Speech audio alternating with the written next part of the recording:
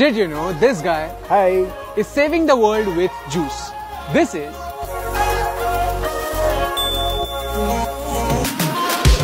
Hi, I'm Abhi. And I'm Niu. and today we are at the most unique juice shop we've ever seen.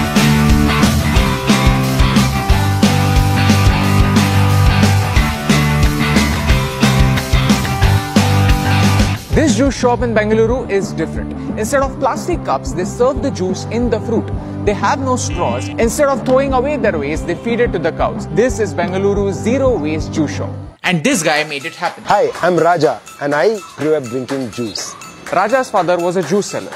He wanted Raja to be. Different. That's why he educated him. I'm a biomedical engineer by qualification and I worked in radio for 13 years. And now I'm changing the world by doing what I love doing.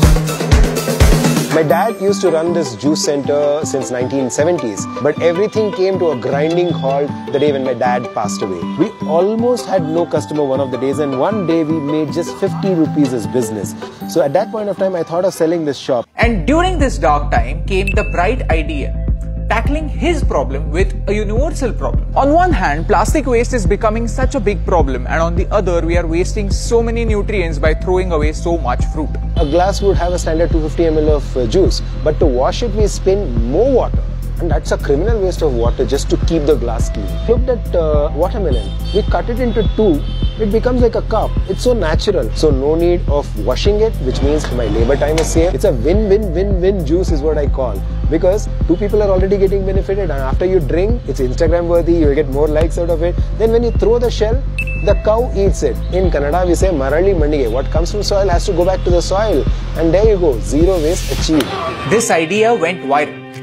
He has been covered by NDTV, Times of India, Deccan Herald. And so many more. I don't sell juices, I only sell concepts. We have about 40 plus varieties, and most of it doesn't even require sugar. We have something called a cigarette juice. No, this juice doesn't have any cigarette. But if you ever choose to give up cigarette, come and give your cigarette and we will give you the juice for free. So we have had Super 30 juice.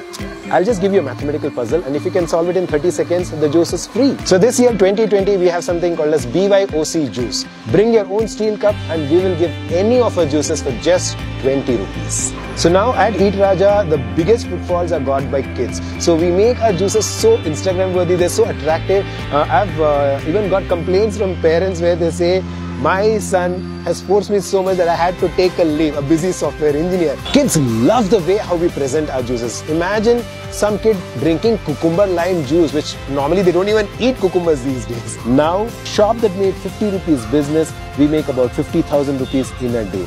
And that's a change that's unbelievable. Raja's idea was simple. He combined an environmental problem with a unique solution. And while doing so, he gave his shop a unique identity. Today, his idea has gone viral. Raja's father worked his entire life so that Raja doesn't have to be the same. And by looking at everything Raja does today, we can safely say that Raja is different. So who needs a cup now? When nature has given us this, you can have everything without a cup. And that's what the world needs today. India's waste problem is so severe that if it continues the same way, we will have an entire city as big as Bengaluru just to keep our waste. The world needs good ideas to be trending because an idea can not only change your life, an idea can change the world. And that's the reason why I love India.